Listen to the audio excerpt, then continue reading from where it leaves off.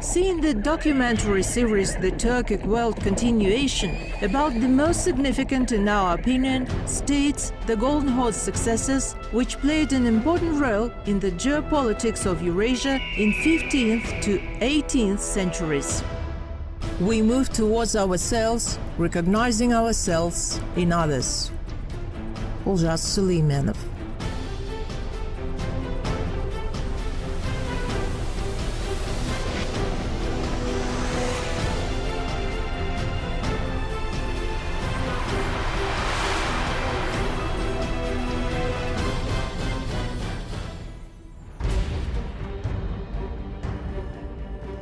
Formation of the Kazan Khanate was the result of those processes of weakening the Golden Horde which took place in the late 14th century after strong military and foreign policy pressure on the Horde at first by its western neighbor, the Moscow state, and then in 1389-1395 by its eastern neighbor, Tamerlane's empire that completely defeated the Golden Horde and ruined its capital, Sarai Berke.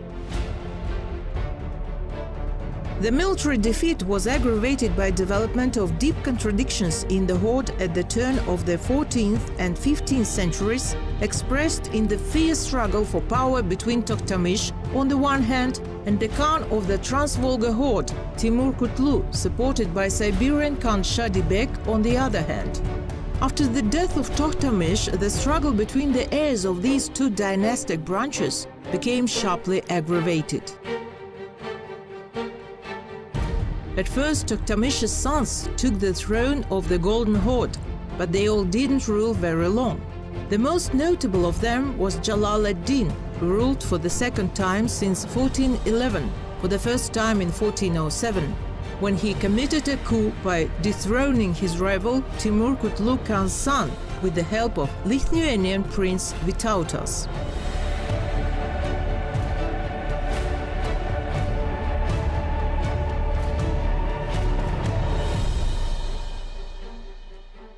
Jalal ad-Din managed to restore dominance of the Tatars over Russia and to make Vasily I Dmitrievich again pay tribute to the Golden Horde since 1412.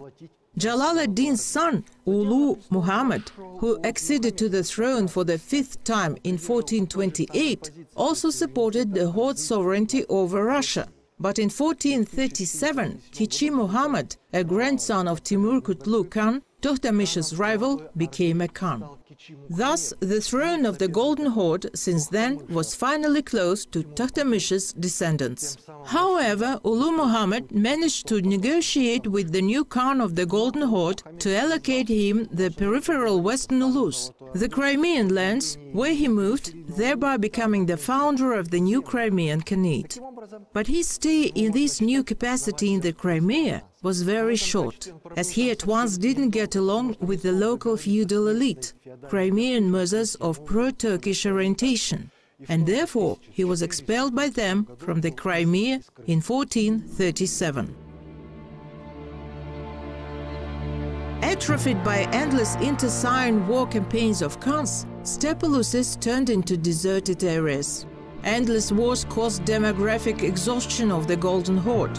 The number of Turk Mongols sharply decreased, and the Golden Horde, from a powerful state, turned into a country with sparsely populated territory. One of the reasons for dismantlement of the statehood was abolition of the most important institution of national power, the Kurultai, at the end of the rule of Uzbek Khan.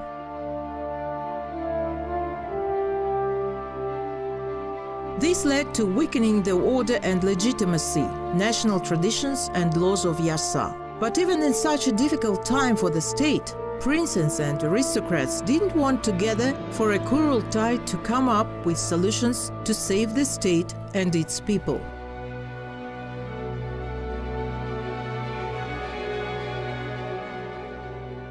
Естественно, Specifics of nomadic culture presume a reduction in possibility of accumulation. Culture itself is more plastic on the one hand. It can easily be moved geographically, it can easily respond to different political structures.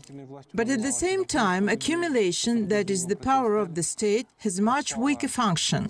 We cannot imagine that the capital all the time moved in a modern state. Similarly, the problem of nomadic union is to build, to accumulate resources and to equip some military arsenals. It was all personal, it was all formed directly in the clan. Against this background, naturally, under these conditions, there was a confrontation of all against all, absence of central authorities, when a group of people who opposed each other called themselves the executive authorities. And the legislative tradition, the Kurultai disappeared. The judicial power was in its infancy. They had already given up the trial according to Yasa, but at the same time they didn't pass to either the Sharia law or any other legal procedure. This all disrupted productive forces. Against this background, we attach little importance to the exodus of people from the steppe. They didn't just die, and there were fewer children, but there was a real exodus, about which we learn from Russia's modern aristocratic books, when exactly at that time, due to instability of the situation in the steppe,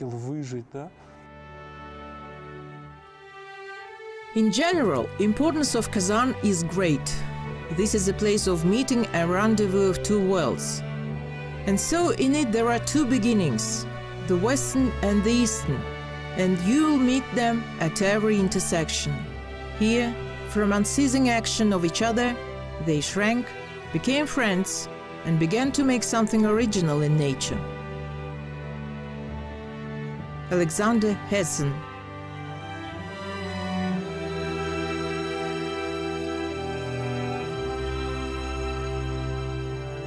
The main population of the Kazan Khanate were descendants of the ancient Bulgarians, old settled people of Turkic origin who long before emergence of the Kazan Khanate created in the Middle Volga region a state that carried on trade on a large scale and had long been familiar with the Muslim culture.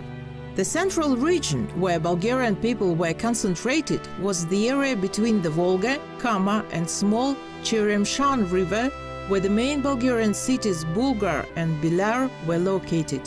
In 1361, Bulgar was destructed by Khan Bulat Timur, and due to this devastation, the population of the indigenous areas of the Bulgarian kingdom moved to the outskirts, mainly to the north side of the Kama, which was at that time covered by thick forests. The influx of the Tatars into the Kazan region was mentioned in Russian sources, which said that in 1438 in the Middle Volga region settled 3,000 Tatars who had come from the Crimea with Ulu Muhammad Khan. Then to Kazan began to come many barbarians from different countries, from the Golden Horde, from Astrakhan, from Azov, and from the Crimea. Kazan as a trade center undoubtedly had a very mixed population. As for the mass of the agricultural settled population, we can hardly doubt that it basically preserved the old Bulgarian people. The Kazan state acted in the arena of historical life at once in the form of a mature organism, with a well-established domestic and cultural way of life. It absolutely didn't have the stage of gradual formation, and this phenomenon can be explained only by ancientness of its people and by the continuity of culture and race.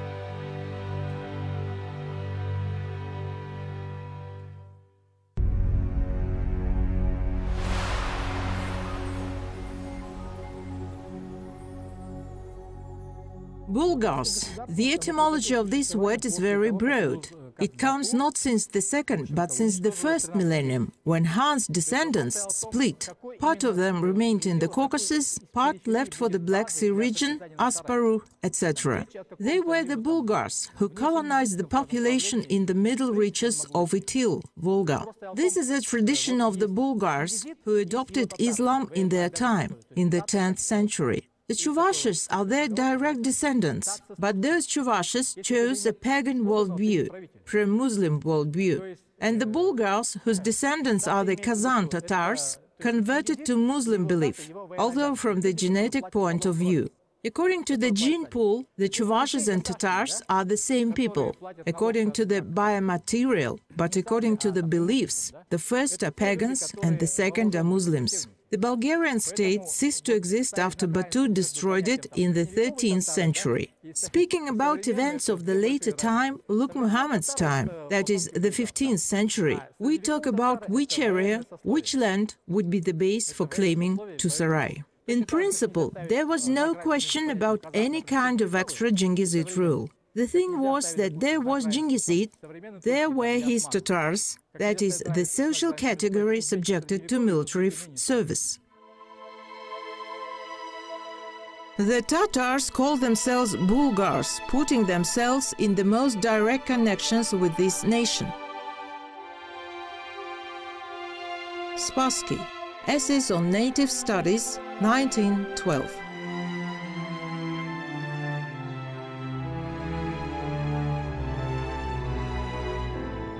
With the emergence of the new state formations and separation of the eastern lands, only the White Horde remained under the Golden Horde's rule. However, inside it there was a fierce struggle, which ultimately led to its dissolution. In 1425, in the hands of Khan Ulugh Muhammad, elected in 1421, was a significant part of the White Horde Uluses. But Khan's situation was not fine. Because of the endless internal strife, the Turk-Mongol people went broke and left for Lithuania, Poland and the Moscow state. In addition, the plague epidemic in 1428-1429 swept off a huge number of people. But despite such a distressful situation, the state was relatively powerful, and Russian principalities remained its vassals.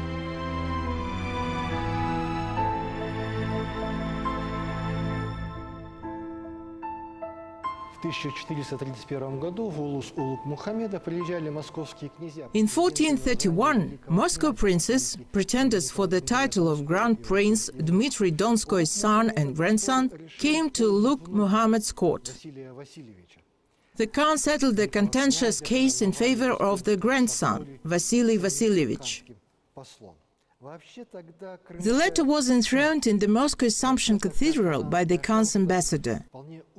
Ulugh Muhammad's government was independent and capable of influencing international politics. For example, in 1428-1429, an embassy was sent to Egypt. Meanwhile, from among Urus Khan's descendants emerged a new Khan, Kichi Muhammad, who claimed for the Western Uluses, and this naturally was a great threat to Ulugh Muhammad's rule. In this regard, there were especially strained relations between the latter and the Turkic Mongol aristocracy in the Crimea, where there were supporters of the future Crimean Khan Haji Girey, who insistently defended independence of the Crimean Ulus from the Golden Horde's Hans. Colonel Ulugh Muhammad's situation in the Horde was unstable. Disagreements arose between him and his senior emir Navruz, Yadagey's son. Navruz left Ulugh Muhammad and defected to his opponent Kichi Muhammad, becoming his senior emir.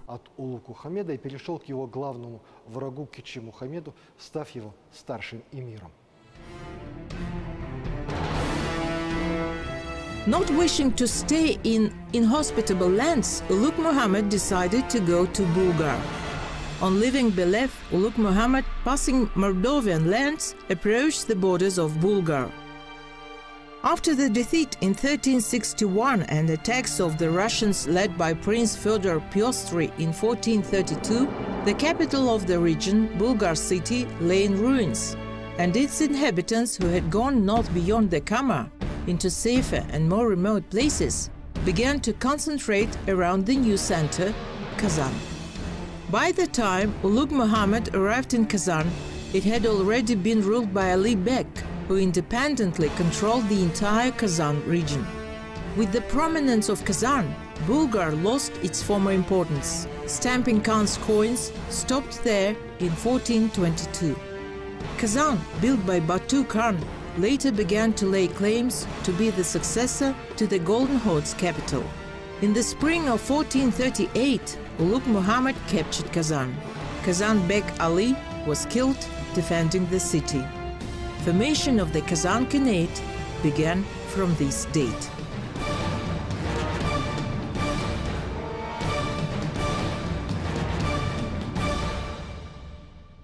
Булгарское государство – это плоть от плоти то, что стало Казанским ханством. The Bulgarian state was flesh of flesh that became the Kazan Khanate. It was a powerful center of Muslim culture, a powerful urban center, a powerful trade center, and it has also a military tradition. Interestingly, the Kazanians fought on foot, and this was in principle atypical for nomads.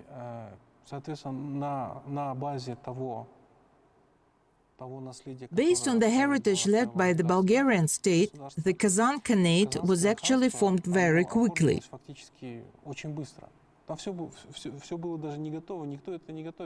Everything wasn't even ready, no one prepared it.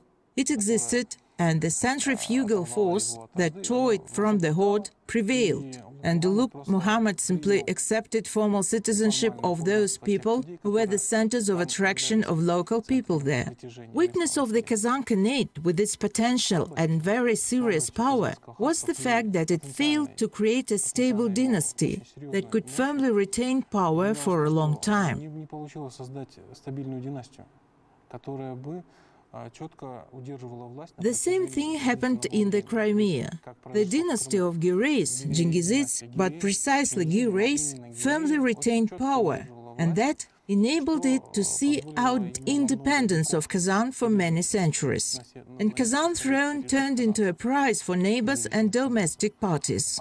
They thought they were using neighbors to win at their place, but in fact the neighbors used internal strife in order to predominate, and in the end, that led to the fall of Kazan.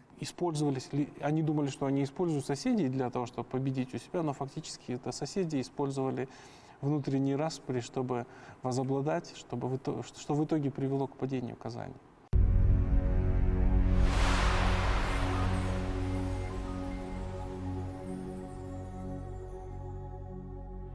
This city is undoubtedly the first in Russia after Moscow.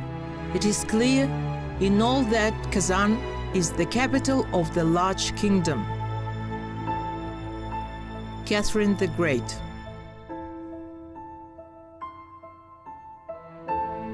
Having strengthened, Khan Muhammad decided to remind Moscow Prince Vasily about the Belev battle and the duties of a vassal in relation to his suzerain.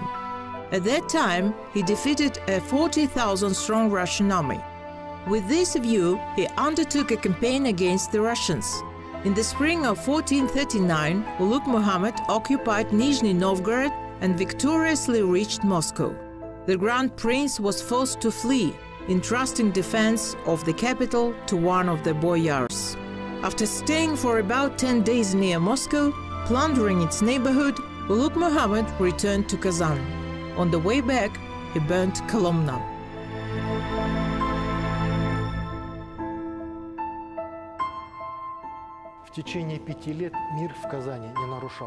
For five years, the peace in Kazan had not been violated. All that time, Uluk Muhammad was engaged in creating his own state structures independent of Kichi Muhammad Khan.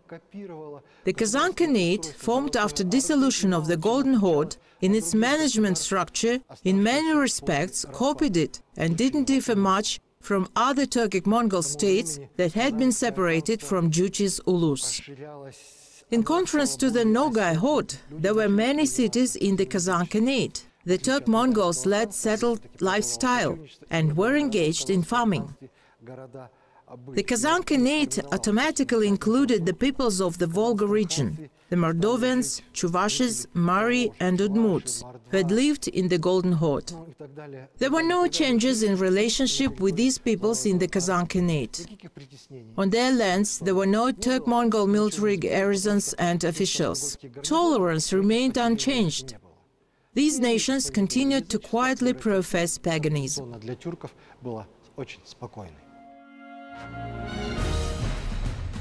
In 1444-1445, Khan Ulugh Muhammad undertook a second campaign against the Principality of Muscovy.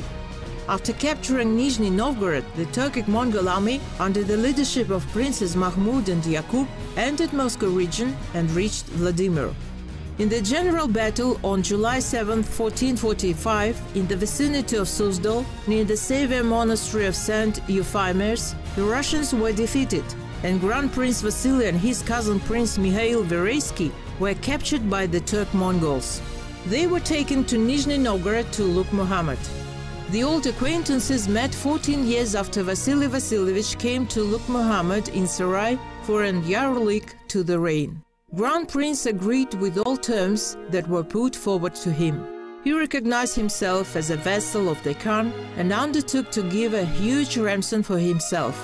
According to one source, as much as he can give, according to others, 200,000 rubles.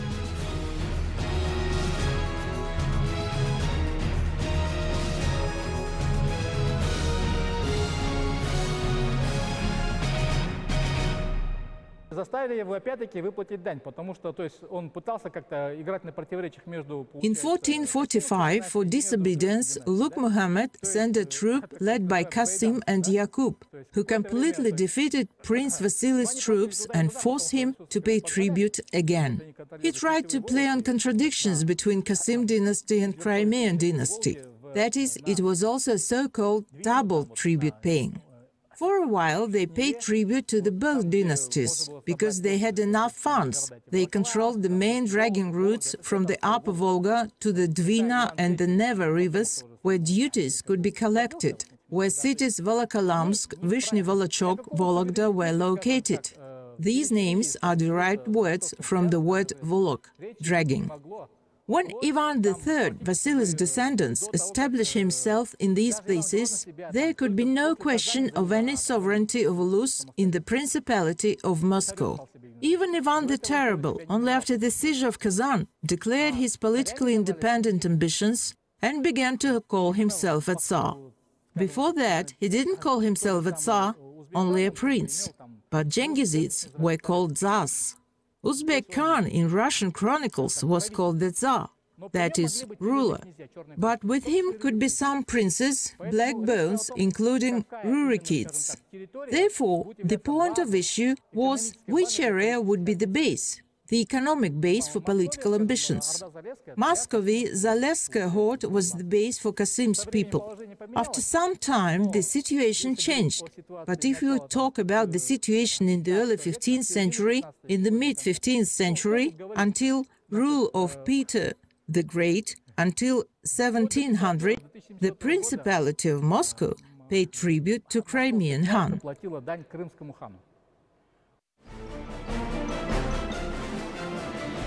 Kazantown is Moscow's corner.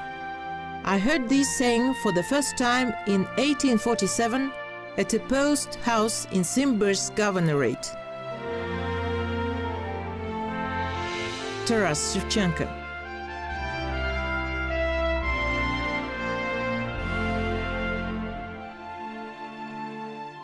When Grand Prince returned from captivity, a large number of the Turk Mongols and Kazan Khan's two sons, Kasim and Yakub, arrived in Moscow with him. The Turk Mongols were appointed to various administrative positions. At that time, they were allocated in Meshersky land on the Oka River, a special domain, so called Kasim's Kingdom, given probably under the terms of the same peace treaty to Ulugh Muhammad's son, Prince Kasim.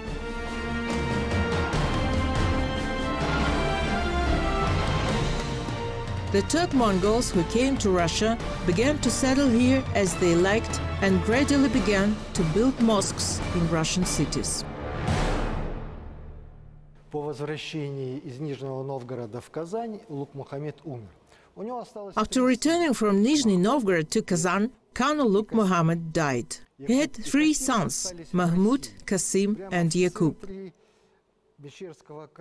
Kasim and Yakub stayed in Russia. Kasim became the appanage prince of Meshersky region on the Oka. After the death of Uluk Muhammad, his elder son Mahmud acceded to the Khan's throne. When he was a prince, Mahmud took part in military campaigns of his father. He was the major commander in the famous Suzdal battle in 1445, when Grand Prince of Moscow Vasily was captured. With the death of Khan Ulug Muhammad, the Turk-Mongols' military power began to weaken.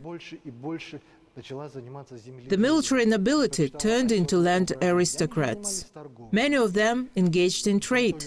All this increased the desire to lead a peaceful lifestyle. Люди, которые здесь собирались The military spirit and ancestors' customs went into oblivion. Э, удаль и заветы предков в этом ханстве постепенно уходили на нет.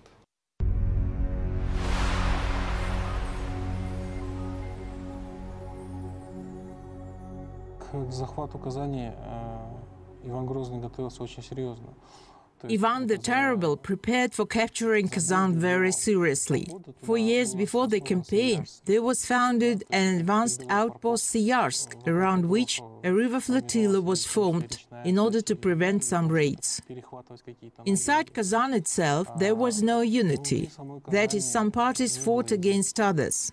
Conditionally pro-Crimean parties were against conditionally pro-Moscow ones.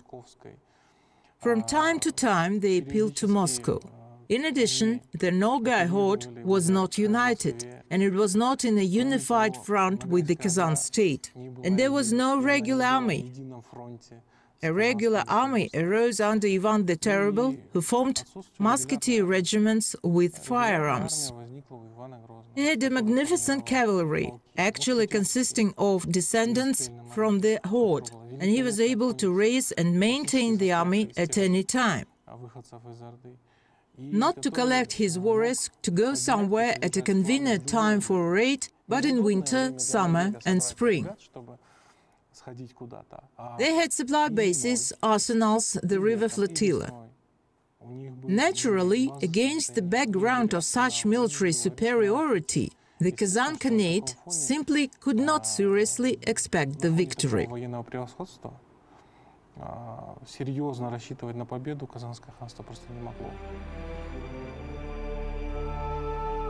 Kazan town stands in blood. Kazanka river flows with blood. Small brooks cry bitter tears. In meadows, meadows tall hair. On mountains, mountains tall heads. Tall different heads. From the folk song.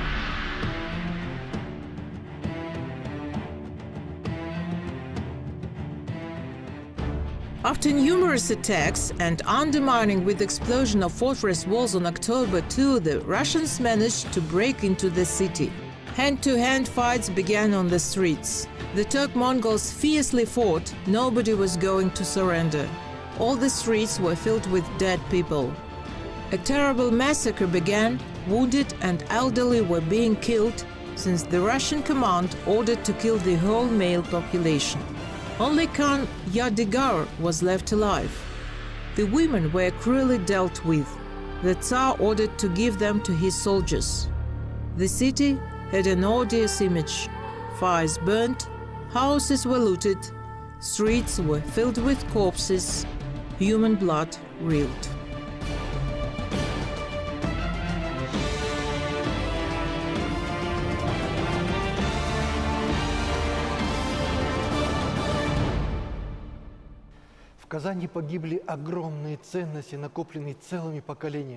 Cultural values accumulated by whole generations were lost in Kazan.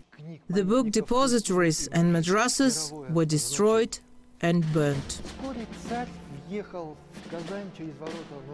Thousands of books and cultural monuments of world significance were irretrievably lost. On the same day, Russian Tsar entered the fortress through Nurali gates and visited the Khan's palace. Only one street was hardly cleared from corpses so that Ivan IV could enter the city.